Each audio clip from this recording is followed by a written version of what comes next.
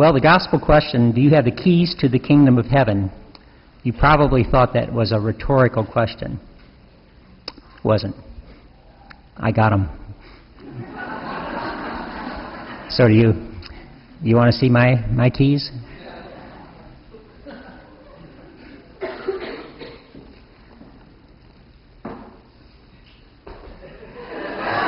There they are. There's three of them, so I'll explain what they are a little bit later.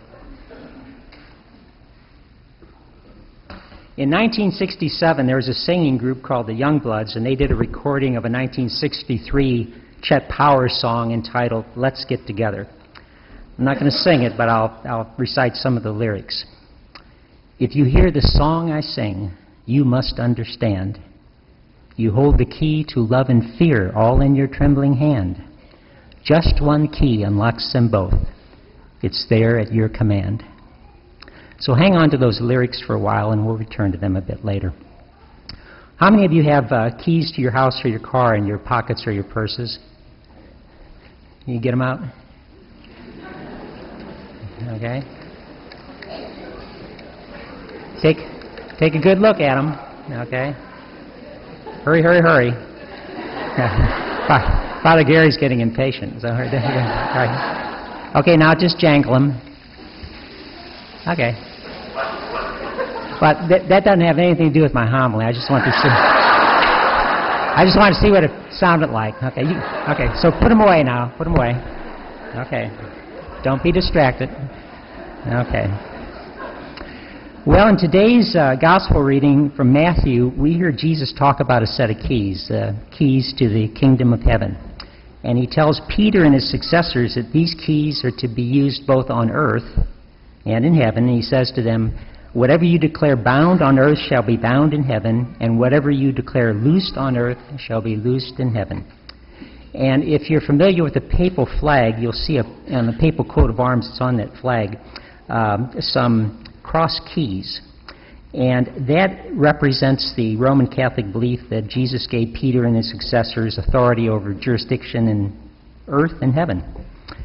Well, I meditated on that passage for a bit, and it occurs to me that there's something more personal and more local in that uh, passage and in those keys and that symbol than uh, just for the Bishop of Rome. And I wondered, could it be that in some way all of us are entrusted with the keys of the kingdom of heaven, as it reads in Matthew's Gospel? Well, to properly answer that question, we need to define our terms. What is the kingdom of heaven? What is a key? What is the function of a lock and a key? Well, there's two things that I would say about the kingdom of heaven. First, what is it? And second, who's there? So, what is the kingdom of heaven? Is it a place? Well, I suppose it is in some sense because we do believe that our, it will be inhabited by our resurrected bodies and spirits, all, all one with God. And the nature, though, of such a place is really beyond our natural sensory, five senses ability to comprehend. But if you consult the Catechism of the Catholic Church, you'd find that our tradition tells us that the kingdom of God is more than just a supernatural place. It is that, but it's more than that. It says that it's a condition of, in quotes, eschatological glory. Well, it's way above my pay grade to explain what eschatological glory means. Uh, so I'll just tell you something I can comprehend with my simple mind, and that's what St. Paul said about it. He, in his letter to the Romans, uh, he was commenting on the relative unimportance of the religious Jewish dietary rules and regulations. And this is in chapter 14, verse 17, Romans. And he says, For the kingdom of God is not a matter of eating and drinking, but of justice, peace, and the joy that is given in the Holy Spirit. Well, if you substitute the word love for joy in the Holy Spirit, you end up with the familiar gospel uh, principles of peace, justice, and love. The gospel values of peace, justice, and love. So it would seem that God's heavenly kingdom on earth is both a place and a condition of peace, justice, and love. And these three concepts are relational. They're relational terms that describe proper relationships between and among people. So, how do we relate to one another in justice, in peace, and in love? Now, as to the earthly membership of the kingdom of heaven, who's there, we're all told in our baptisms that we are now, quote, heirs to the kingdom of heaven. So there we have the kingdom of heaven. Now let's look at the phenomenon of locks and keys here in this kingdom. Well, common sense and personal experience tells us that the key exists to keep something in and to uh, let something out.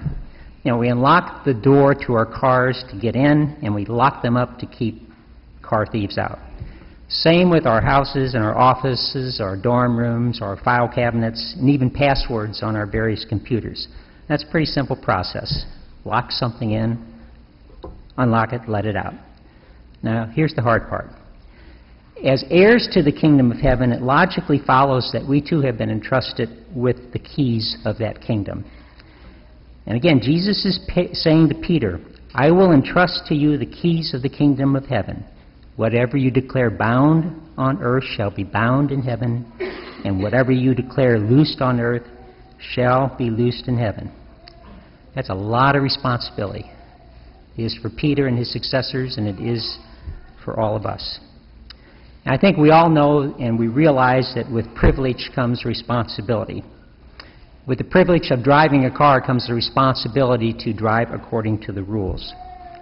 And a promotion at work usually brings increased privileges, but almost certainly brings increased responsibilities. And if you think about it, I think many of us would like to have the privileges of the President of the United States, but few of us would want his responsibilities. So, what does Jesus ask of us as he entrusts the keys of his kingdom to us? Well, these keys are the keys to his hall of justice, his temple of peace, and his fortress of love. We have the responsibility of safeguarding these three pillars of the kingdom. The principles of justice must be kept under lock and key lest they be hijacked by those who would use law and regulation for their own selfish purposes as they trample on the just rights of the poor and the disenfranchised. And you're quite aware where it says, and what it says in Scripture, that the Lord hears the cry of the poor. And so should we. In our social, economic, and political dealings, we must do what we can to keep justice safe from thief and hireling. In peace, in our marital and family relationships, in our friendships, and in our relationships with all our brothers and sisters throughout the world, should be considered so valuable that we do anything in our power to prevent it from being stolen away from us. And love. What can we say about love?